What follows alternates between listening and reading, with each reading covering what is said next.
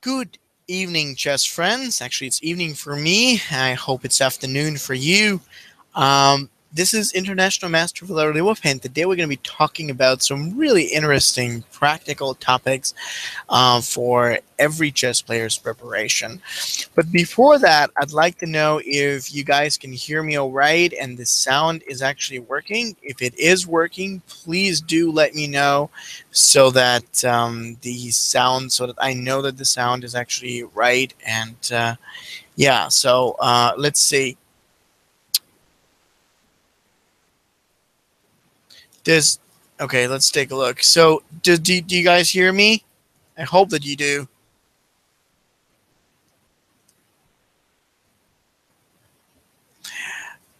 All right. I don't see any. I don't hear anybody. I actually don't see anyone writing. Uh, is there any sound? Let's see checking up because there have been some problems with the sound the past time, and I want to know that everybody is able to hear me okay. Please confirm on the chat that it's working. Yes, you hear. Okay, great. Wonderful. Thank you so much for confirming. That's good. So, what are we going to be talking about today? Now, today we're going to be talking about quite a few things, but more importantly, we're going to talk about Grandmaster Sam Shankland's way of actually explaining how we can think about strategy. And essentially, I'm going to show you some really interesting highlights that was were impressive to me and the way I learned them from his brilliant 15 hour course that he has recently released. Um, so essentially, we're going to begin with a few games that he's presented in his scores, and my view on those games and the things that I were able I was able to learn. And I hope that you will share some of my uh, thoughts and ideas on um, how these games worked and what's so instructive about them. So I'm going to begin with the very first game. So I'm going to load it up right now. Just a second. Yeah. Okay, so the first game we're going to be by the great positional master Vladimir Kramnik. Now, a lot of people say that Kramnik plays boring in positional chess. But whoever says that doesn't actually realize that Kramnik's way of playing is essentially very, very tactical. It's just that he's able to put in this positional display that makes him look very slow and boring. So there is a lot of value in his games, and in particular, I'm going to bring up that one game that I wanted to introduce to you. So here we go. Just give me one second.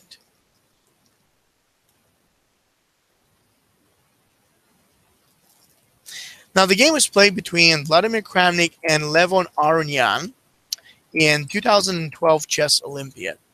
And this was a pretty amazing game, in my opinion. It shows what positional play is all about and how effectively it connects with the tactics. So Kramnik was playing white, and he basically started the game with d4, d5, c4, e6, knight c3, and knight f6. Now, as the game started, basically white did the exchange in the d5, and then after the exchange and the recapture, sorry, actually black played with e6, I'm sorry. C, C, a C6, knight C3, knight F6 exchange and recapture, we get into what a lot of people consider very boring, the semi-Slav exchange. Now, I've always said that no matter what the opening is, as long as it fits the right positional laws, like making sure we have the good control of the center, the easy command of development, and so on and so forth, almost any opening could work out just as well. And so White did it pretty well with bishop f4, e3, and bishop d3. He sets up the development and the pieces the way they need to be. So g6 and h3. Now, there's nothing so interesting so far until that moment. The really interesting part of the game begins after black's next move, which was bishop to f5. And here comes my first question to you guys, which is really what should white do? This is very interesting because black's intention is to exchange the bishops and essentially simplify the game, which would be quite all right. However, our job is to figure out if we should let him to exchange it, retreat, or exchange on our own. So this is my first question to you. Let's see what you think about it. And I'll appreciate if you comment on your suggestion, not just to tell me the move, because apparently the move is pretty clear. One of the three retreat, keep it, or exchange. I want to hear your reasoning. In fact, actually, want to, I want to read your reasoning. So that would help. Um, please let me know about that on the on the chat. Now, not, do not take Queen C2. Okay, I appreciate your suggestion, although Queen C2 may be a problem due to knight b4, so we don't want to do that. Retreating, okay, the retreat is not as perfect, to be honest with you. Even though you might want to do it, oftentimes when you get to retreat, you lose quite a bit of the initiative. And especially in the opening, you just don't want to do it. Can we make a move like knight of 3 Yes. And we can also think about the exchange. But um, how do you decide between those two? Now, Here's a little think about exchanges. When it comes down to an actual exchange, I think the first question you got to ask yourself is how does that impact my position in a negative way? Oftentimes, you will very easily notice the benefits of the exchange, but the negatives of it often remain unseen, and people lose because of that. The problem with the move of bishop takes f5, g takes f, even though we create double pawns and it looks pretty effective against this black, black king side, in fact gives him plenty of good chances. After knight of 3, we see the main negative inside white's position. That will be the fact that black can play e6 and follow that through with bishop to the d6 while you're thinking that initially Black's king side would look uh, for castling would look very bad, I'm here to tell you that once the king gets to safety, he can put his rook right back in, and he can apply plenty of pressure against the g2. So this would become fairly unpleasant. See, I think that an exchange is only as good as the negatives that it actually you know brings. If, if you believe that the negatives are going to be too many or they're going to be like quite bad like the open g line that he's going to get for attack and the solid pawns for pawn chain i think you shouldn't exchange. And that's exactly what white picked up to do. He decided not to do it. He decided to play knight f3 so after the, as a result of the trade in d3 white could retake with the queen and he can feel comfortable enough with his idea of castling. And starting up an actual plan. See, this was very important. Now, let me let me bring a couple of you. Exchange, break up the Black King pawn structure. Only on the surface you will. See, the long-term impact of the exchange was better for him. Now, Bishop E2 was a passive move, as I mentioned. So this, I'm just reading through the comments. A3, it didn't need to happen. That was an unimportant move. Why just focused on developing? So now we have another uh, pretty instructive position. I mean, white is doing fairly well. Everything looks good. We have a solid position. So what to do from here? I'm going to give you a second to think about it. And while you're thinking about that, and let's see if you can guess Kramnik's brilliant plan here. Uh, I'm going to tell you that uh, right below the video, there is a link to Grandmaster Sam Shankland. He's a Grandmaster, but one of the most famous Grandmasters in U.S. Uh, he's rated more than 2,600, but he's prepared a, a 16-hour new course that brings out the little secrets that all of the great champions like Kramnik, Morozevich, Topalov, and even himself, in fact, use in their games. And what's so interesting about it is that he sets up to explain a lot about how do you create these advantages, possibilities, and, and what you can do so you can actually get borrow a little bit of that magic and bring it into your into your game. So it, it goes to the fantastic 50% off for just the next few hours. So if you want to get it, it's right beneath the, the video. I'm also going to put a, a link in the chat. So you might want to actually consider that. So Rook FC1 is good. Absolutely. This is a beautiful way to go. And it's most important because it improves. Now, what I often like to say is that when you plan, it's never about where, how, what, and so on and so forth. It's about really one thing. What is the goal? And the goal now for White is to just make sure his pieces are better. We're not ready to attack. There's no target. And we, we have already almost completed our development. So from this point on, Kramnik sets up to achieve this goal by making every single piece walk towards a more advanced place. The rook on the c1, the knight on the a4, the knight goes by to c5, and then the rook even takes on there. It's beautiful to see how these pieces work together. And uh, that's about it. Okay, so and so after the move of uh, uh, knight exchange takes, black played queen d7, and then white played rook c1. Now, one of you just said, I just joined, and what is this video about? Um, the lecture today is um, basically like a, small interpretation of my learning from from from Grandmaster Shank Shankland's recent course on Grandmaster Secrets. So I'm going to show a few of his of the games from his course and the way I learned from them, the things that I learned most importantly. But you could still take a look at his course, and I think it's great. So anyway, White played Rook AC1, Black played Rook C8, and from this point on, White just gets to build. I like to use very recently, you know, like I, I came up with a very interesting explanation to uh, that I, I teach to kids about this type of play because you know most kids they're used to all right let's attack let's go tactics. And i tell them you know instead of thinking like that you know where where he can attack or what you can target imagine you have a large lego that you have lost the manual to. So you don't have the models and what you need to do is you have to figure out the models yourself. And so you have these all these blocks that you have to build, and yet you have to use your imagination to do it one step at, uh, at a time as you go along. That's what improvement often means. You take this improvement with moves like rook c1, a3, you know, knight a4 as we played, and so on and so forth, and you grow it and you gain that momentum without actually seeing the final picture. It's pretty important to do it like that, and it's actually easy as long as you have the patience. So black played rook bishop f8, and then what white did was rook c2, just taking that rook to a safe position.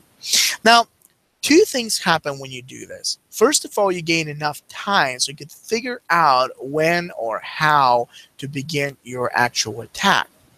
But the second most important thing, you let your opponent mess it up. This was a thing that my dad used to teach me when I was younger. He used to say, when you play against uh, your opponents, like who are weaker than you, said, let them mess it up.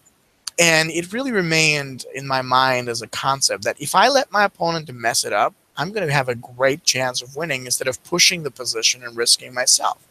So then I started, okay, let's play a little more slowly, still within it and the idea to attack and take the initiative, but a little more gradually, giving him no clue of where I'm going to start and yet when I get to build up, he is going to make a lot of weaknesses. And and Black did make the weaknesses. This is not just happening in the games of beginner or intermediate players. A lot of strong players tend to make those mistakes. Like Black did f6 now, already weakening quite a bit of his king's position.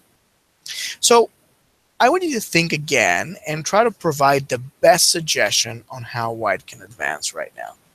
While you're thinking about that, I'm going to answer a few of the questions that you've or comments that you guys put in. I encourage you to bring in as many comments as you can or questions, whatever is unclear, bring it on the chat. It's uh, beneath the video as well. What is this opening? It's the Slav. It's the Slav exchange. Yes. The b4 and b5 as a plan is a good idea, although we have to do it carefully because if we do it so fast, it's just going to lead to many exchanges. So if you if you go by the position, the knight on f3 is probably more important to activate than uh, the expansion. I suppose that's true. b4 or h4. I think that one of you just mentioned the perfect idea. Expansion is good, but only as long as it's going to create threats. And we don't have any of those just yet, unfortunately. So, in that regard, in that respect, it's going to be best if we start with the pieces. Knight d2. Remember what I said to you. Don't rush to position true. Give yourself a little time to build it, like knight d2 did. It was a nice move taking the opportunity to get that knight around the queen side. And, and I know what some of you are thinking. Like some of you are going to be fine. Like, all right, this is fine. I can do this. And I can think a little more about those moves. But other part of you will be like, you know, just even subconsciously, some of you are going to be thinking, okay, come on, this is the sort of boring kind of bullshit that I, I, I know about. I don't want to play like that. I want to just sacrifice my queen and checkmate the opponent. And while that kind of approach sounds exciting, it's very unrealistic. You know, you have to understand that even in some of the games of great players like Callum Fischer, who are very famous for their ability to attack, a lot of times what you see in the books is the end stage, the final stage of what we call a long-term buildup. And that's what chess is. Chess is a game of plans. If you want something faster and more exciting, then you look for another sport. But chess is really much more about planning. It's it's an intellectual game. It's basically defeating your opponent by thinking, by analyzing the position a lot better, not by just making the more exciting moves in the play. And so basically after the move of um, knight b3 as it was, you could see how white's position progressively improves and it becomes more and more important as he grows and gets his pieces better. So black now plays rook to c8, and, and this is an important situation. What to do now? Now, what if you just, okay, a couple of you asked uh, while you're thinking here, this game is similar to Jacobian Warscha, very instructive game. Look it up. Yeah, all right. Thank you. That's a, that's a good suggestion. Yeah. So can we go for the f3 and e4 similar to the Botvinnik plan? I think you could, although you have to be careful about the center because maybe the d4 pawn could hang. Uh, that G3 would weaken a little too much. I don't think that it would weaken too much. I think so, um, but we just want to do that move on purpose. I think we've already covered the H2 square, so not a problem. Now, what if you said, why not to, why doesn't black take the center with the support of F3? I suppose you mean for white, because you see, you got to choose where you're going to play. If you play on the center, that's fine. But if you play on the queen side, that's fine too. Just don't mix them up. You can push on both areas only once you already dominate on one of them. And if you dominate on the, let's say the queen side or the king side, then opening up towards the center would make a good sense. But I don't think we're dominating just yet. Not just yet. Not just yet. So let's see if anybody has a suggestion. Now, what if you said, are you sacrificing the knight on a5? Well, we're going to sacrifice the knight if he takes the next move. He's, that's what he wants to do. He wants to take our knight with this, uh, with his own. So he just covered, I mean, he was pinned before, so he defended the rook. And yeah, I think we gotta, we gotta figure out what to do now.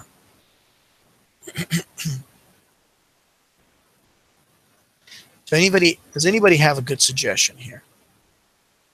Rook c5 hangs a piece. Yes, it does. Yes, it does, because black will just take on a5, and we can't take back, unfortunately. Queen b3, same thing. a5 is going to hang. We can't do that either. I mean, you shouldn't, rather, do that. No, we can't do queen b3. Now, give me purpose. I don't want just moves. You could say queen b3, although it loses, or you could say anything, but I want to see the reason behind your suggestion so I can comment on that. Otherwise, I can comment on the fact that queen b3 loses the knight. But, um, you know, knight takes b7. Now, what the hell is that? Why would we like to just take the pawn on b7? What if he takes it with the rook? Knight b3. Yes, certainly. We can remove that knight from the a5 and regroup it towards c5. But in some way, the problem of this is that it's going to release the tension. See, black can make a move of e5, challenge us in the middle, and I like that knight, but it's not causing any trouble to black. He can exchange us. He can get the rook over here, and I think this is going to be working. So, no. Mm -mm. Now, d4 is possible, although he'll exchange it.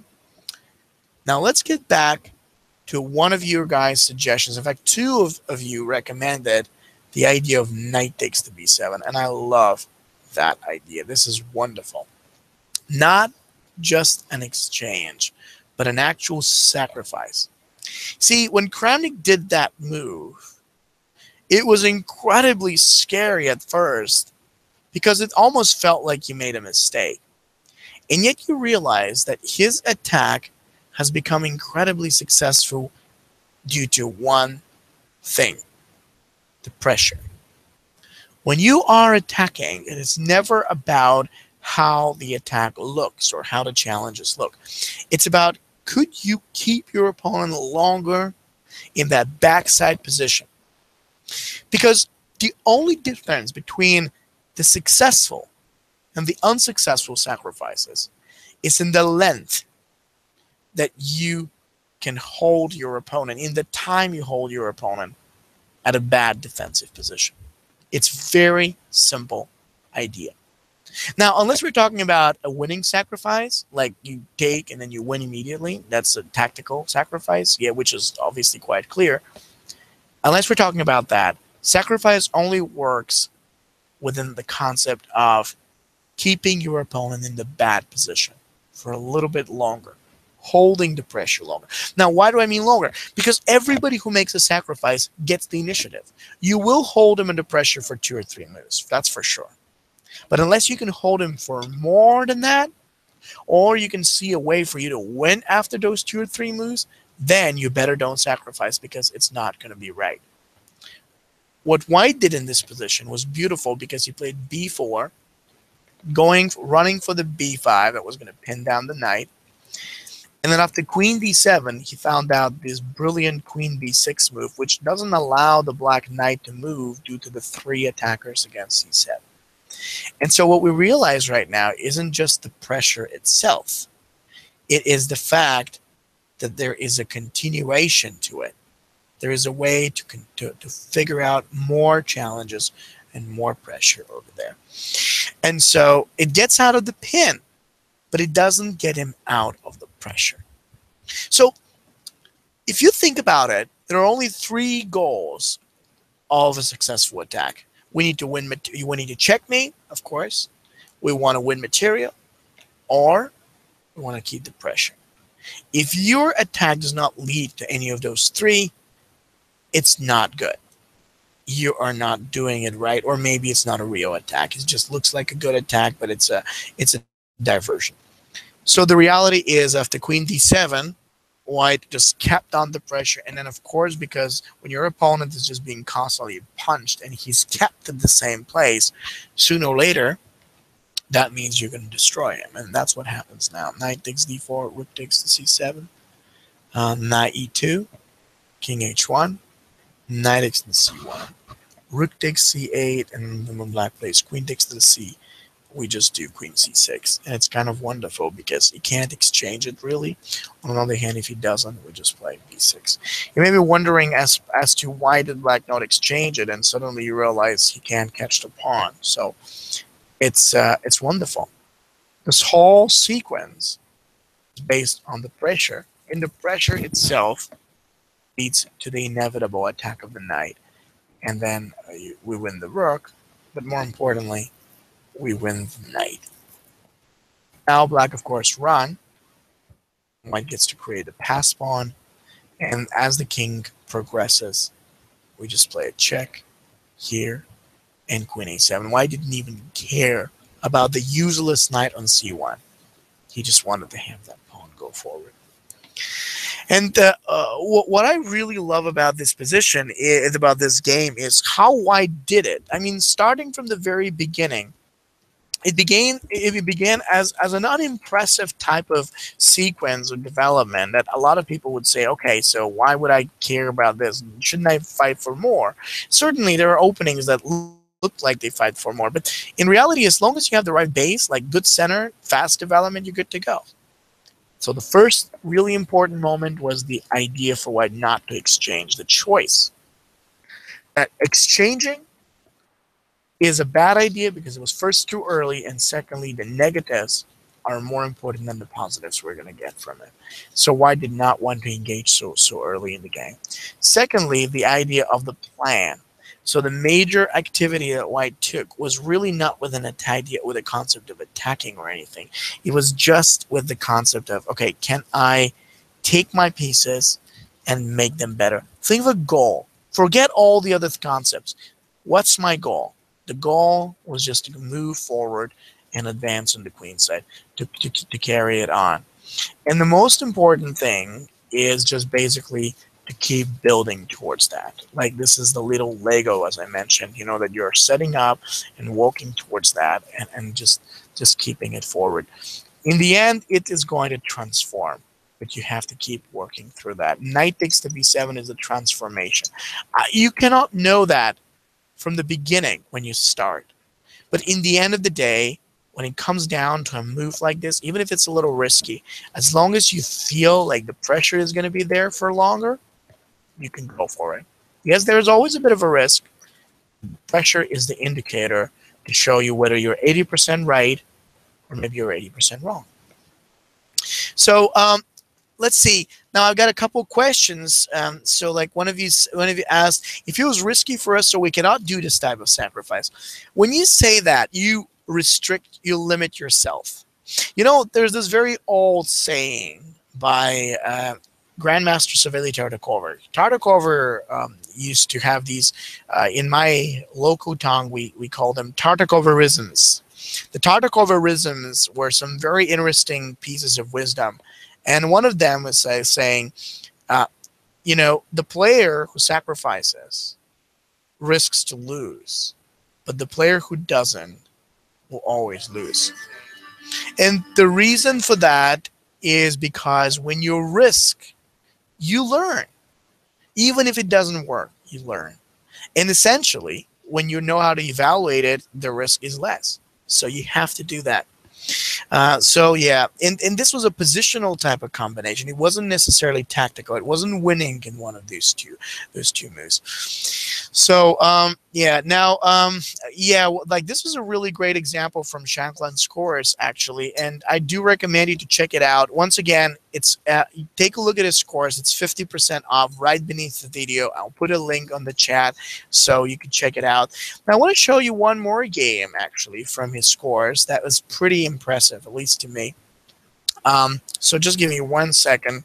I'm gonna I'm to copy it. By the way, for any of you who want me to send you this uh, this game with my annotations and with the with with the notes and everything, uh, I do recommend you to just write me an email. You can send me an email. I'll send you the file after the uh, the webinar. You can uh, send me an email to. Just to put my email on larry.lilov at gmail.com or just just visit my uh, website contact page, you can instantly just send me a send me a message from there, and I will be glad to send you back the file, so you can uh, you know put in your notes and all the key learning points from today. I I'm all for the notes, especially when you get to rewind that kind of thing. It's good to take some notes and, and learn from them. So, okay, hold on for a second. I'm going to bring in the second game that I've prepared for today.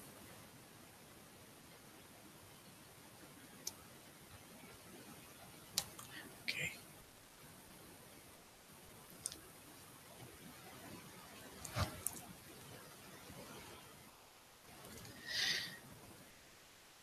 So let's take a look at a game that was played by, personally, in my opinion, the strongest players in the world right now. And he was the strongest player in the world and since 1985, or even since earlier.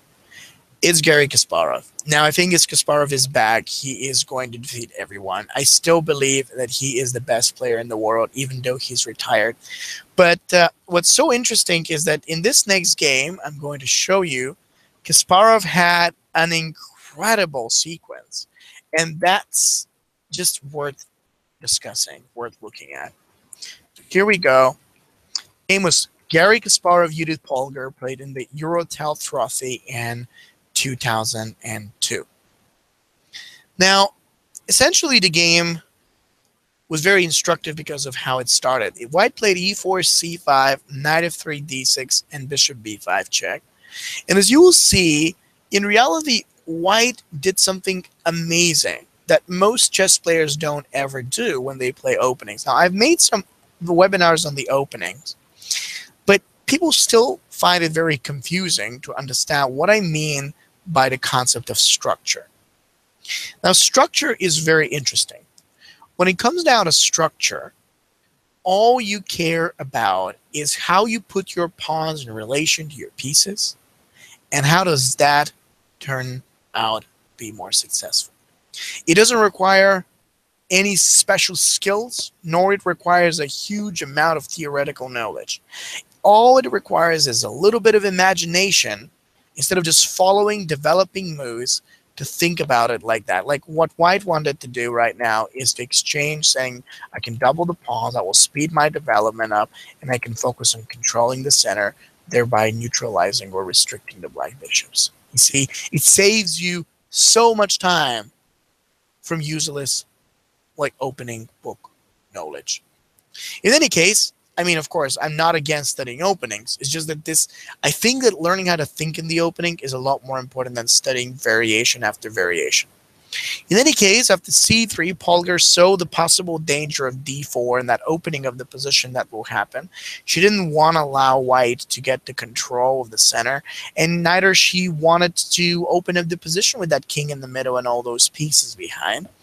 So Polgar did the move g5, which looked crazy, by the way. And yet, it's all about the idea of attacking the knight and eventually making d4 a little bad. So if d4, g4, he will challenge. She will challenge. So what would you do in this position yourself? It's a weird move, g5, and I'm not saying it's good. But the question, nevertheless, stands out to be, what do we do? How to play this position now with white. Take a moment and think about it yourself. Hmm. Think about that. This, this is very interesting. Now, what what book is this? Uh, I think that my book has F5. Uh, I beat it, Kaspar. Okay. so, now, all right. So let's see. While you're thinking, let me actually. Um, no, don't put in. Don't put your email on the chat. I wouldn't email you if you put your email on the chat. Um, actually, I need you to send me an email. Send me an email uh, so, Valerie, this may seem a bit off topic, but is there a system that you recommend to play against the French defense? There are many. I like King's Indian attack. I like the knight d2 variation. I like the knight c3 bishop d2 line. If you know what these are, uh, you can look them up. They're pretty good. Um, okay, what is the variation of the Sicilian you're showing? It's called the Rossolimo or the Moscow. I'm not sure. Actually, I think that one of them is Rossolimo. I think Bishop against Bishop D7. The other one is Moscow. You excuse me. I'm really bad with names of openings. But either one of these, Rossolimo or Moscow. Yeah. Okay. So uh, I think my book has F5, but I should look at G5. I think F5 and G5 suffer from the same sort of problem. You can't open if you are behind in development.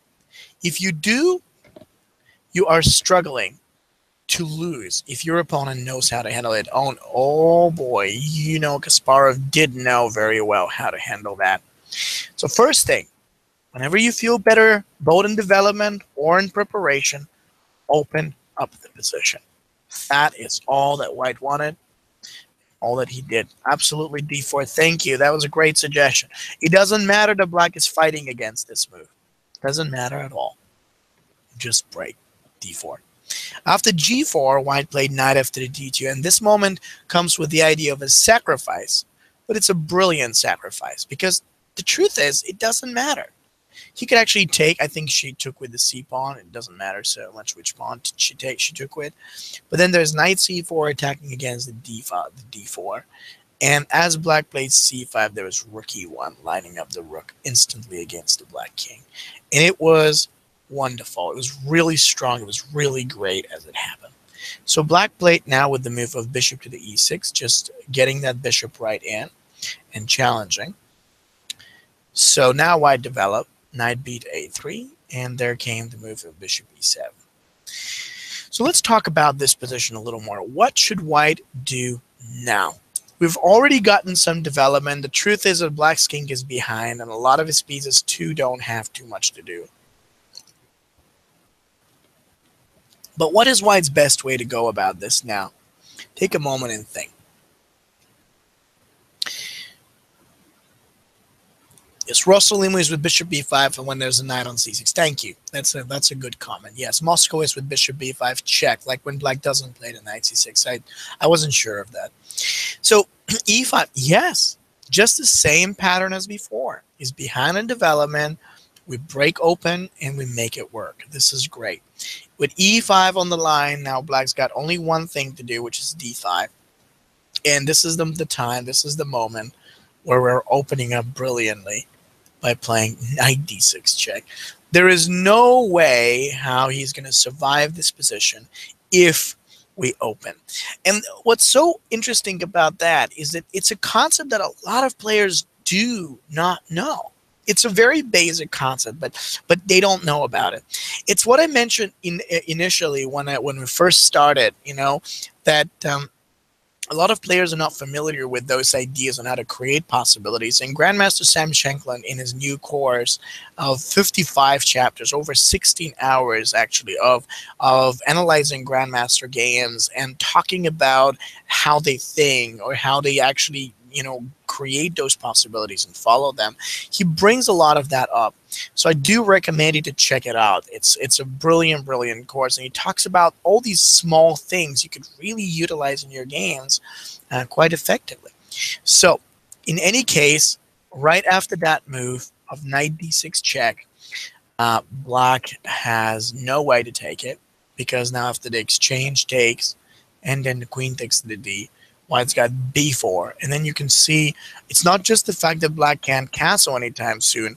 It's also the fact that we've got an opposite colored bishop sequence. And opposite colored bishop usually means that when the position opens, it's going to be devastating. So that was uh, terrific. Black. Now Polgar did the move of the king f8. Black just can't take. So what to do now? I'd like you to think about this moment and tell me of your suggestions on how White should go about this position now.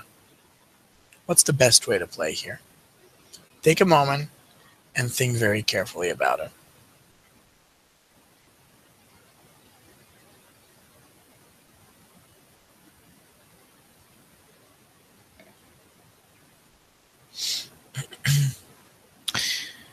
Now, b4 or f4 or queen d2, I think so.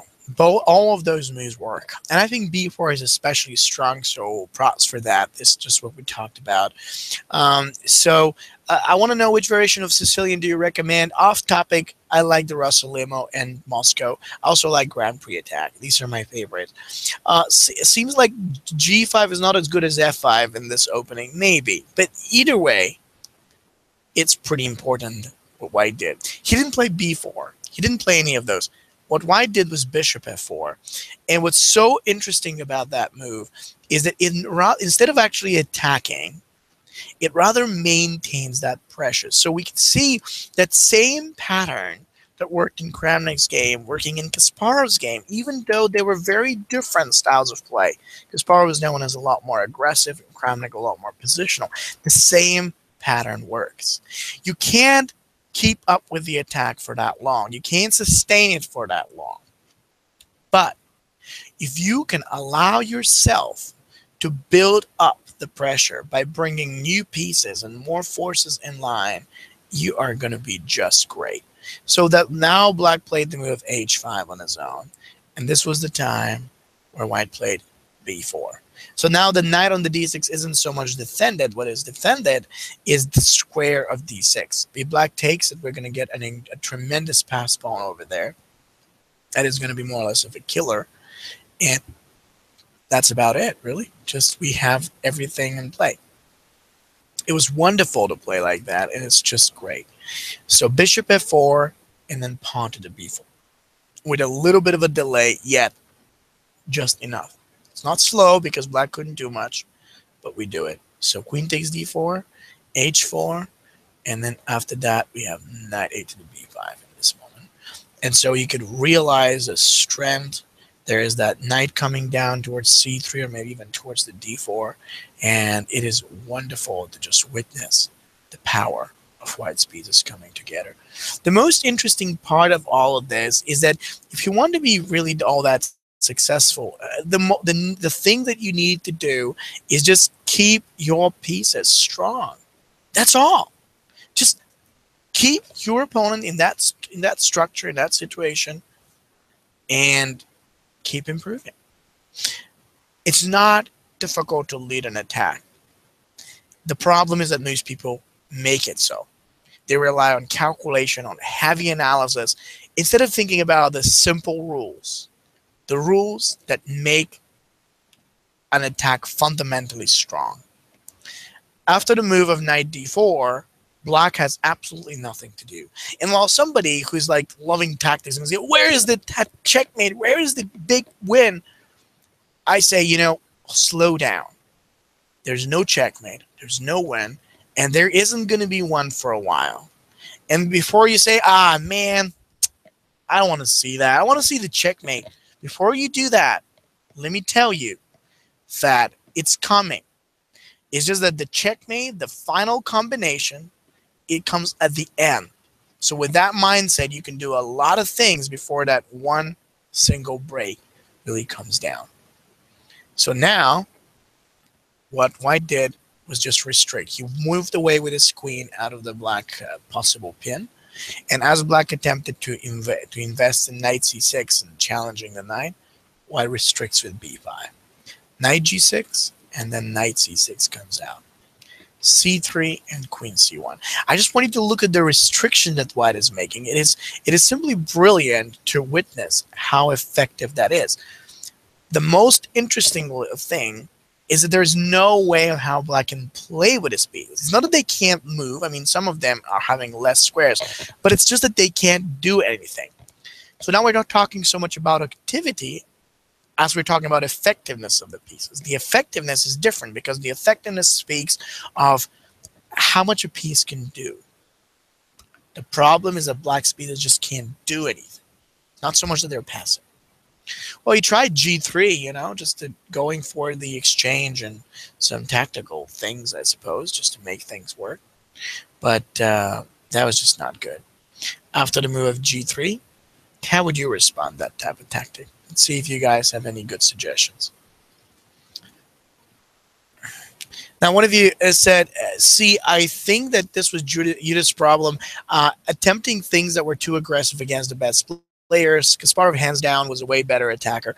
Um, no, I, I, wouldn't agree with that. Kasparov was the better attacker than anybody at that time. It's just that I think Polgar simply tried a new system in terms of just getting different possibilities, and she was very inventive like that, and it's it was good. It's just that this this one attempt did not turn out so, so well. But when we talk about when you compare it to, to your games and the games of the, that you're playing, oftentimes people will go this way not because they're prepared, but because they don't know the rules, they don't know the principles, they don't know what they're breaking them, they don't even know the theory. They just play like that, and it's up to you to use these little things to punish them. Like so. Uh, now, uh, okay, so one of you said too much harmony with the white pieces. I absolutely agree. This is truth. And um, okay, I'm ready for bishop h6. Now let's talk about that move. It looks like a fantastic move, but if you really think about it, it's losing. Because now after bishop h6, king g8, I'm not talking that it's losing like losing generally losing the attack. It's losing the game. And it's losing the game because presently there is the threat of knight takes d5 and queen takes at b6, which will destroy the white harmony, so to speak. And the worst possible thing is that there is nothing white can do to fix that. Even if he takes the pawn, black would just play a move of f6 at this point. And we could see how with that pawn on e5 going and the knight being threatened, the bishop on h6 hanging, ouch, this is bad. So what the hell happened? It looked so good and then suddenly it's so bad. Yes, because I call that uh, the concept of structural focus. And it's not only found in chess, you can find it in a lot of other areas. A lot of the things that look great and turn out bad, you know, if eventually, uh, is are happening exactly because of that thing. We can put anything, stories, you know, like art, you know, like sport, other other sports. You know, some things start great and they don't end great. And the reason for that is because in 99% it's because of the concept of structural focus. So what does that concept mean? Well, I'm going to explain to you how that works in chess. So structural focus means that you start in one way with one idea. And what happens is that before you accomplish that idea, you jump and you focus on something completely different. so as a result, the tone changes and all the circumstances change, which could ruin something really beautiful. So the concept of structural focus suggests that unless you have already achieved the big advantage that you were looking for, and certainly White hasn't, you should stick to that major idea or that one thing that was making your game great. Presently, it's all about the center the support to it, and the restriction over black speeds. If you play with and jump with the move of bishop h6, it pretty much brings the play to something completely different, and white's not ready for it. So this is why Kasparov actually made the, the very unimpressive f takes g3. In fact, out of after all that active and aggressive play, he chose a very slow positional continuation just so that he can keep the pressure he was holding in the center and make sure that black is going to stay in the backside position for a little bit longer. It was beautifully played, and it was effective. King g7 and queen takes the c3. It was great. Even if black tried to play d4 to protect the pawn, that wouldn't have helped because then again, what the structural focus of white would have been in the right place, and he'd be ready. This is how it works, and it's a very interesting idea.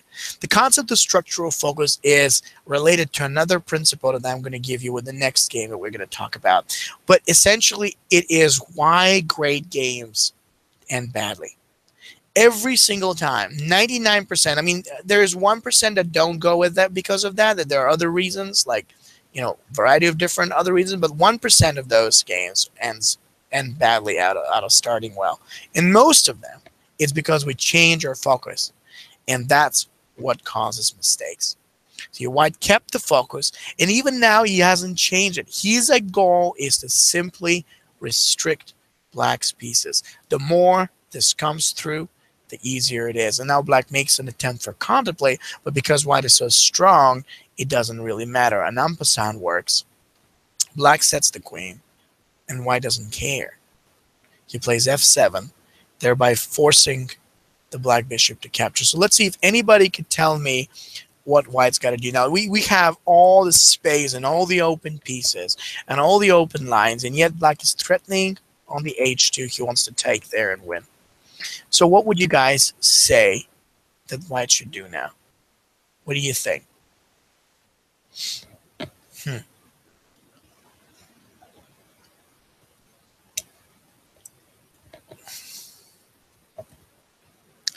Let's see. now, one of you said, okay, I got some suggestions. Let's see. What were these suggestions? uh, good afternoon, everyone. Okay. good afternoon to you too. So here we go.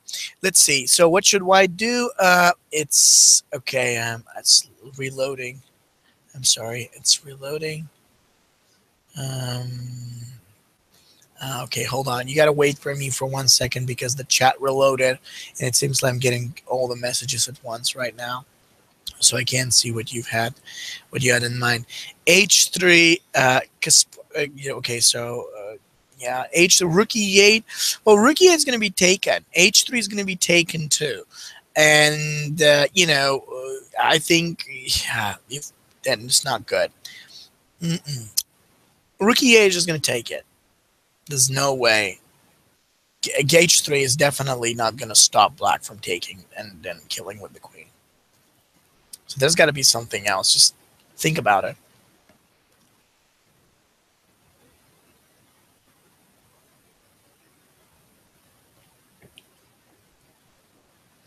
Knight e7. Good point. Problem is, black is just going to take on the e7 with the knight. And then there's no way on how we can make it work. so no. And that looks such a good position. How did white spoil it like that? Queen c8 maybe? Uh, nope, because then he's going to take it with the knight. Knight d4 is a possibility to solidify. Yes, I agree. Although it doesn't change the fact that he's going to chase us around. And I think white's losing a little bit of his advantage there. But yes, I mean, if there's nothing else, I guess knight d4 could do. But come on, you could feel it, right? It's just so many of the pieces of white are brilliant and powerful. Now you suggested, okay, yeah, here you go. You're getting it now. This queen takes h8 and that was absolutely terrific. This move of queen takes h8 is actually pretty amazing because it seems like like there's no defense, and then suddenly there's this move that as a result, if black plays queen takes h8, we see rook takes f7 happening, and the perfect, I'd say brilliant coordination of white's pieces makes all these threats possible. But it's not so much about because of that it's the interesting part is that if black takes with the knight, as she did, white can do knight e7. And now if the king f8 and knight e to c8, it's still those brilliant attacking pieces that black cannot deal. The h2 threat is over, and white carries on a great weight with all of his upcoming pieces. As the game progressed and black played queen d3, white played rook f3, and so next move, black tried queen c2, and yet there was an exchange, which helped white to take a third piece uh, in order, I mean, a second piece, in fact, to to compensate the queen the interesting thing about it is there is no value of the queen. I think it was Kasparov himself who used to say that every piece has its own relative value depending on the position.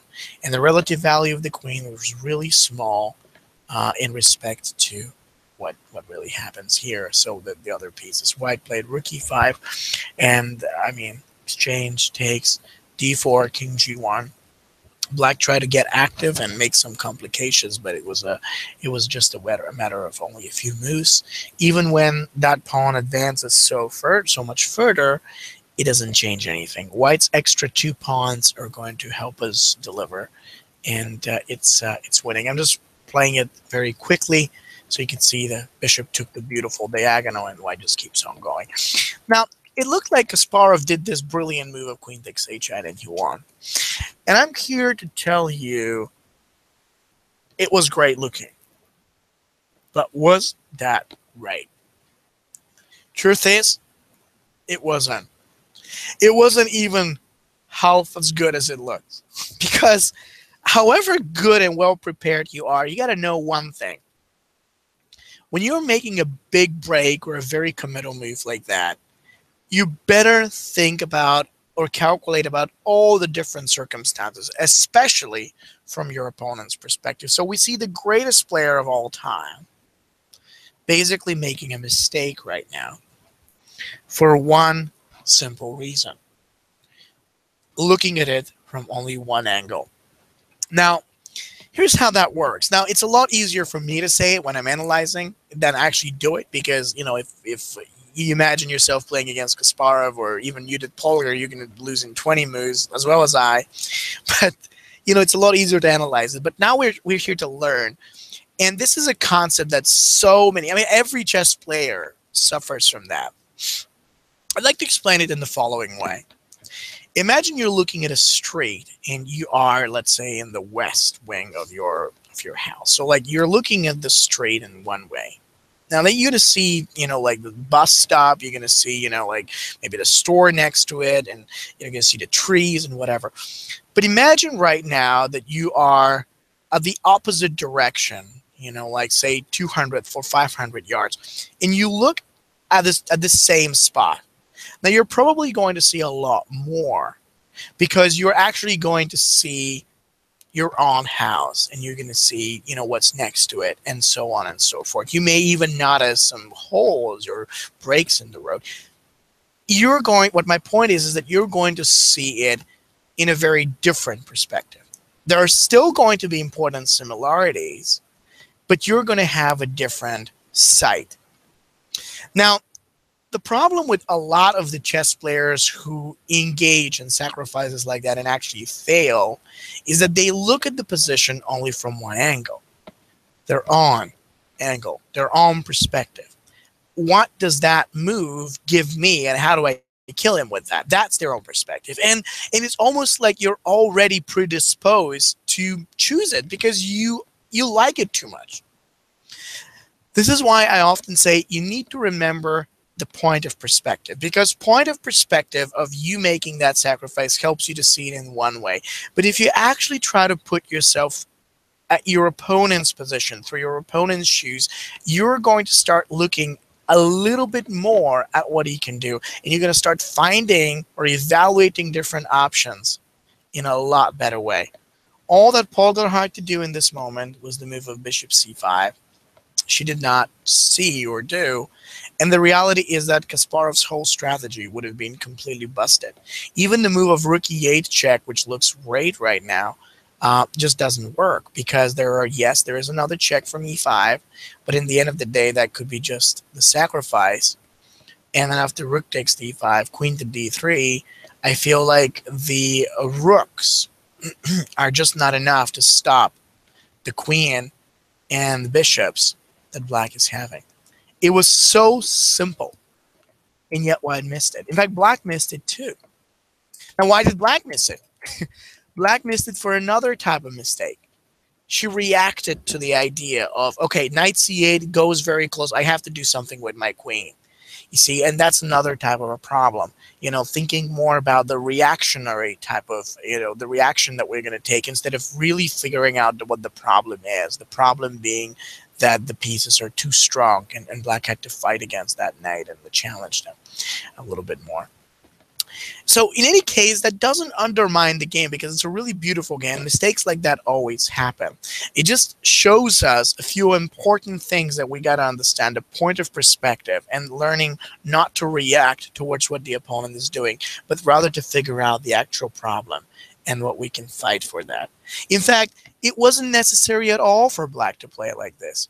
All that, I mean, for white to place, all that white wanted to, had to do was basically play either knight d4 or an even simpler move, bishop h4, which in this specific position would have handled the problem in a lot simpler and easier manner, opening the road for the queen to defend h3.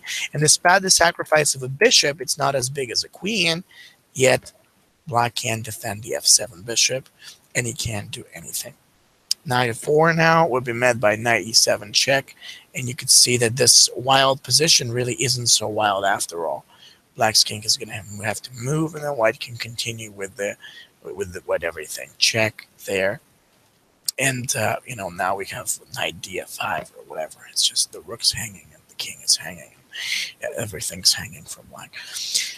So uh, what is so wonderful about this uh, about this position is how both players, the greatest strong man and the greatest woman chess players in the in, in that era, really missed something that a lot of other players are going to miss too.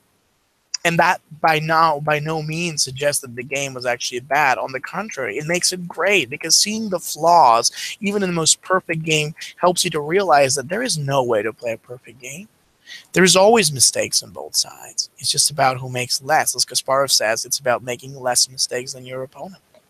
But what really drives this game forward and what helped White to, to grow his position and make the strategy work out so well was actually this one thing that a lot of people miss.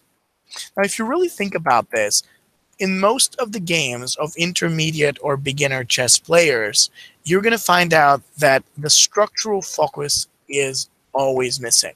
And that means often they don't have a goal. Now, I want you to think about one idea. If you read through a book, or you go to see a movie or a TV show that's boring, do you know why that is? In most of the time, you know, it's not because it's switching the tone of starting, you know, well and then going bad. It's kind of bad all the way through. And the reason is because there is no goal. You see things happen, you read things happen with no goal. That's how we often play chess. Now, the really great pieces have that one very simple pattern within, you know, embodied in them. You know, every single one of them, there is a major goal and there are obstacles and then we actually walk towards the goal and we can identify with the you know with whatever it is the story for example. In chess we need a goal. Now we can change along the way but we need to pursue something. Instead of just saying oh i got to calculate this i got to do this i got to maneuver that way you know you can do all these things but you got to do it towards a specific goal. White's goal here was to make sure he constantly keeps a challenge and pressure over the black king and his goal was to open up the center very similar to the Kramnik game that was out there, where ultimately all he wanted to do was gradually improve and build on the queen side. If you're ever wondering if you're going in the right direction with your game, ask yourself, okay, am I following a specific goal? That's a very simple question. But if you think of it, most chess players don't do it. Unless you're conscious of it, you're not going to do it.